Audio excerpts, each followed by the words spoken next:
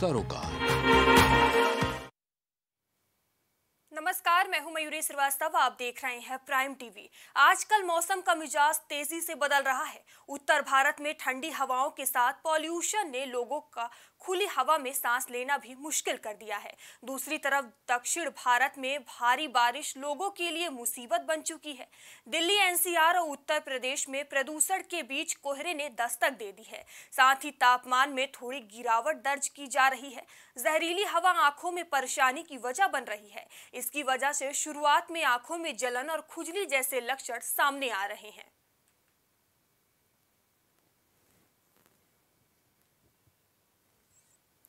इस खबर पर ज़्यादा जानकारी के लिए अमेठी से हमारे संवाददाता वीरेंद्र तिवारी हमसे जुड़ेंगे। वीरेंद्र, जहाँ एक तरफ़ बीमारियाँ तेज़ी से पाँव पसार रही हैं, वहीं अब प्रदूषण का खतरा बढ़ता जा रहा है। क्या वजह है प्रदूषण इतनी तेज़ी से बढ़ रहा है? जी, मैं आपको बिल्कुल बता दूँ, मयूरी कि जिस तरीके से प्रदूषण फैल रहा है, जिस तरीके से चाहे वो बुज़ुर्ग हो, चाहे वो महिला हो, कोई भी हो उनको बीमारी एक जैसे सांस की बीमारी हो गई, वो तो लगातार बढ़ती जा रही है। और लोगों की अगर जैसे प्रदूषण की बात की जाए तो जैसे खेतों में पराली जलाने को लेकर, वो जिला अधिकारी से लेके उच्च अधिकारी तक हर कोई एकदम प्रशासन मुस्तैद है कि पराली ना जलाएँ, प्रदूषण ना फैलाएँ। लेकिन क्या है कि लोग मानते नहीं है, लेकिन प्रदूषण फैलता जा रहा है। तो यही एक कारण होता है कि प्रदूषण, लोग अपनी बाइकें निकालते हैं, जो प्रदूषण का एक फोर व्हीलर है या टू व्हीलर है।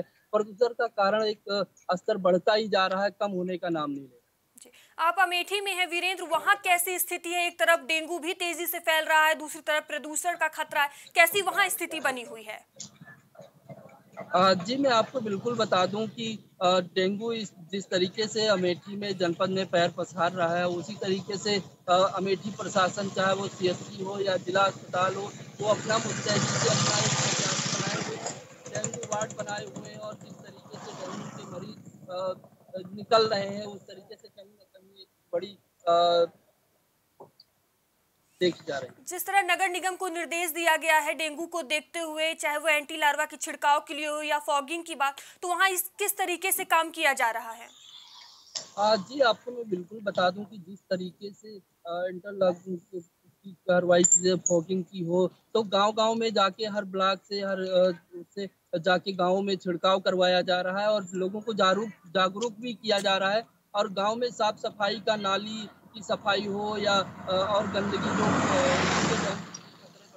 वो सारी चीज़ों की रख रखाव चाहे वो ग्राम प्रधान हो या कोई भी हो, सरकारी हो, सब एकदम मुस्तैद है और इस पे एक नियंत्रण रखने की कोशिश की जा रही है। जिस तरह से संक्रमण फैल रहा है, फिर चाहे वो पॉल्यूशन हो या फिर डेंगू हो या तमाम तरह की बीमारियाँ, अस्पतालों में कैसी व्यवस्था की गई है?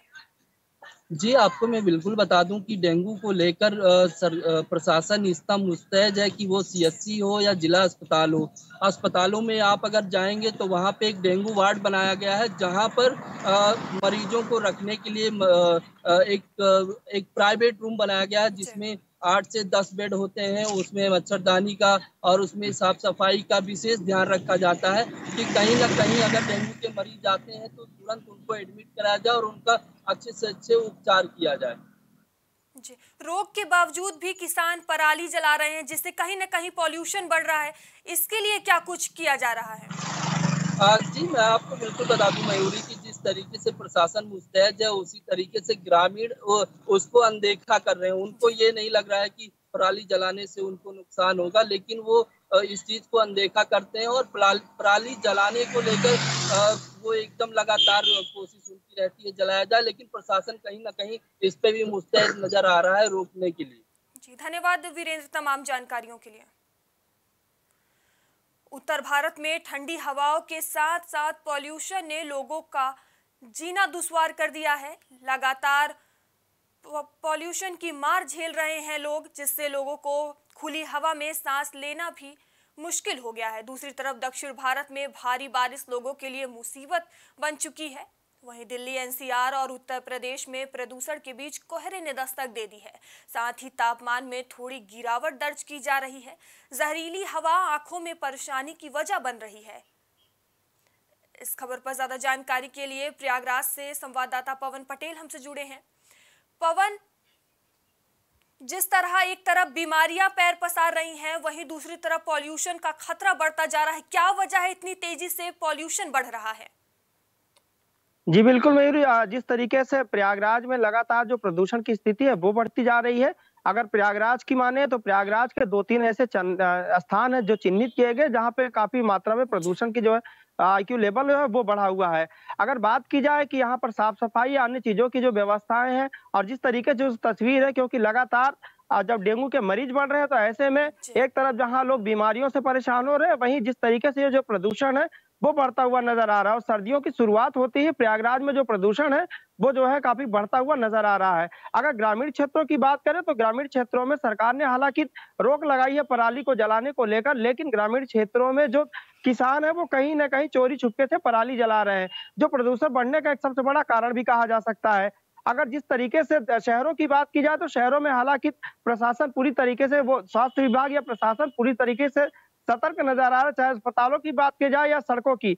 लेकिन अगर सबसे बड़ा अगर यहाँ पे जो देखा जाए जो अहम चीज़ है तो लगातार जो डग्गा मार वाहन है वो सड़कों पर फर्राटा भर रहे हैं और कहीं ना कहीं ये भी एक प्रदूषण बढ़ाने में एक बड़ा कारण बनते हैं। जी। मयूरी। पवन जैसा अभी आपने कहा कि ग्रामीण क्षेत्रों में रोक के बावजूद भी पराली जला रहे हैं किसान तो इस पर एक्शन कब लिया जाएगा?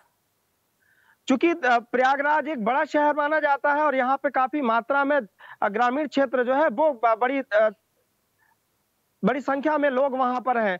और जहाँ पे जो किसान है, वो काफ़ी हद तक, चूँकि प्रयागराज के कई ऐसे स्थान है, जहाँ पे खेती जो है बड़ी बड़ी मात्रा में की जाती है। ऐसे में जो ग्रामीण क्षेत्र है, कई ऐसे स्थान है, जहाँ पे सरकार या जो भी आला अधिकारी है, उनकी नज़रें वहाँ तक नहीं जाती और लगातार वहाँ पर जो किसान है, वो कहीं ना कहीं चूर छुपके से रात को पराली जलाते हैं। हालाँकि कई ऐसी जगह की तस्वीरें भी सामने आई हैं, जहाँ पे किसानों द्वारा पराली जलाई गई है। लेकिन ऐसे ग्रामीण क्षेत्र दूर दराज इलाके में ऐसी तस्वीरें देखने को मिलती है कि वहाँ पे अधिकारियों को जानकारी तक नहीं मिल पाती है और जब तक उनको जानकारी मिलती है तब तक कहीं जाके पराली जल चुकी होती है। तो प्रदूषण बढ़ने का एक जो सबसे बड़ा कारण है वो कहीं ना कहीं ये सामने आ रहा है। और दूसरा जो सड़कों पर चल रहे डग्गा मार वाहन है लगातार उस पर अभी तक आ, बात की जाए अभी मौजूदा समय की तो मौजूदा समय यातायात माह चल रहा है और ऐसे में शहर के अंदर प्रशासन के द्वारा यातायात माह चलाया जा रहा है गाड़ियों में चेकिंग की जा रही है। लेकिन अगर सड़कों की बात की जाए तो सड़कों पर लगातार डग्गा माहर, वाहन जो है वो फराटे भरते नज़र आ रहे हैं। तो कहीं ना कहीं एक बड़ा कारण कहा जा सकता है कि प्रदूषण बढ़ने में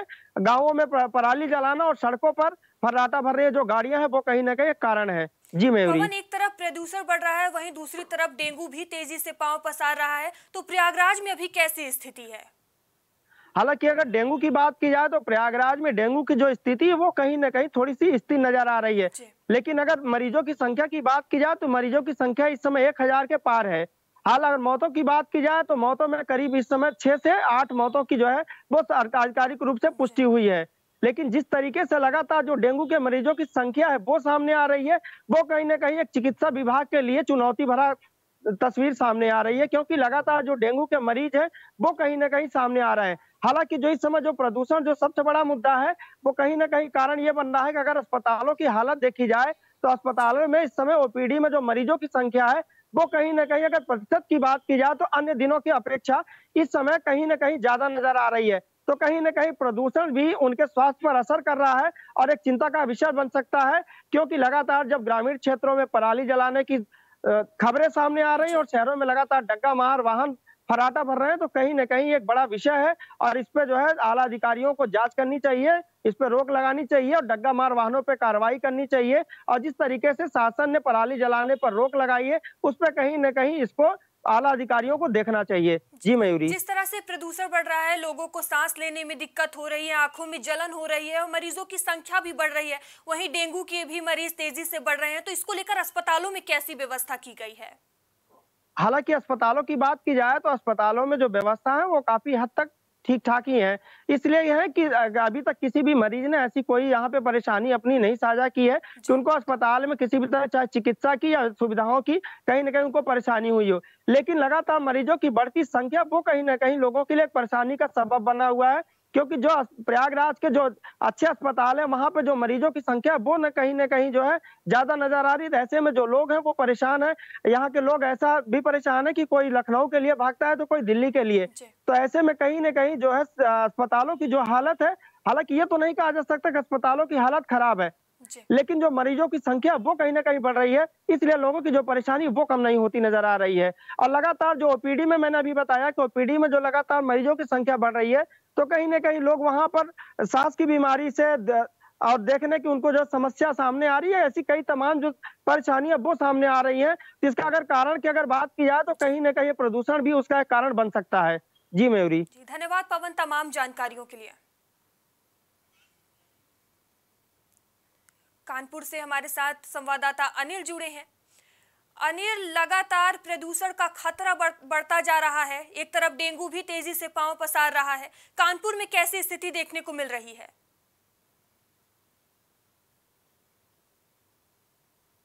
जैसे कि इस वक्त दिल्ली, गाजियाबाद और एनसीआर के शहरों में चल रही है। कानपुर का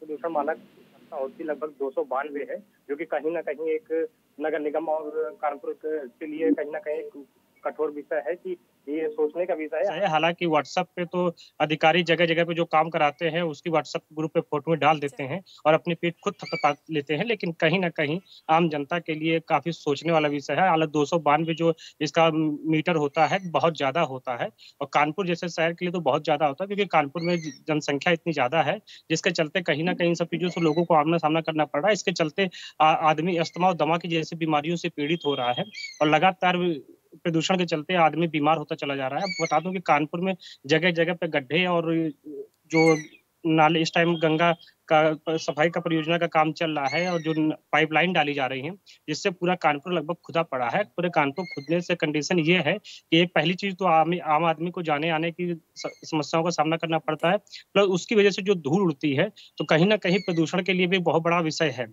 जी मयूरी। क्या वजह है कि इतनी तेज़ी से प्रदूषण बढ़ बढ़ रहा है?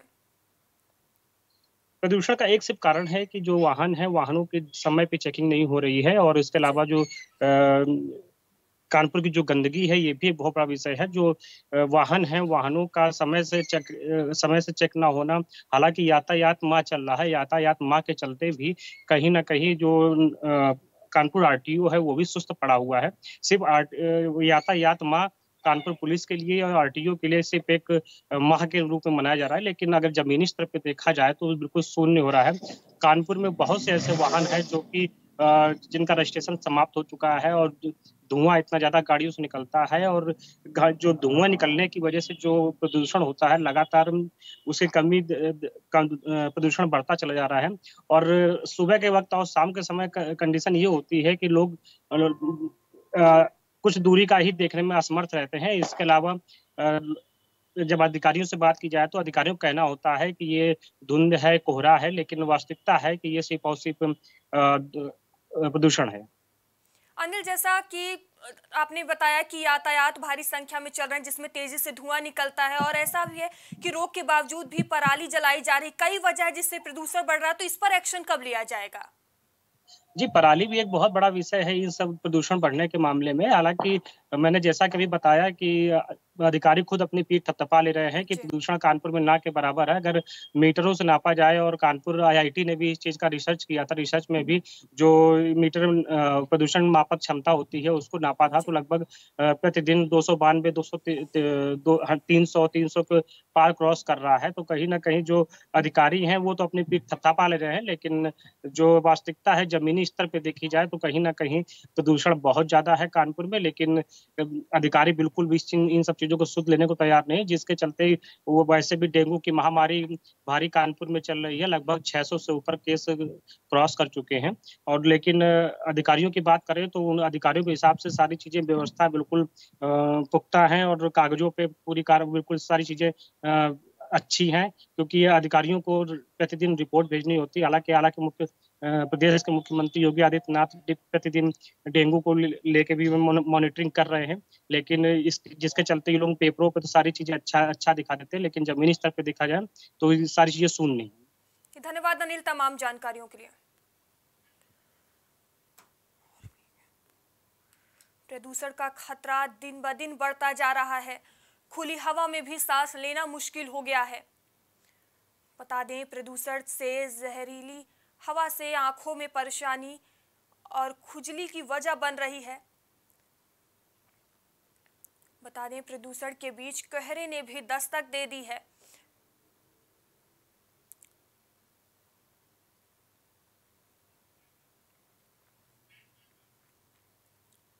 अब तक के लिए इतना ही। देश दुनिया की तमाम खबरों के लिए देखते रहिए प्राइम टीवी। कुछ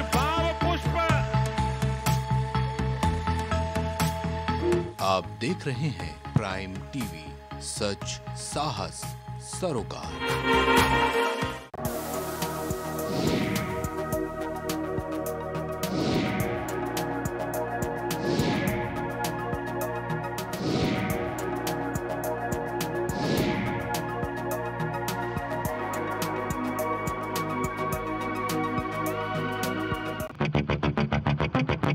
राजनीति से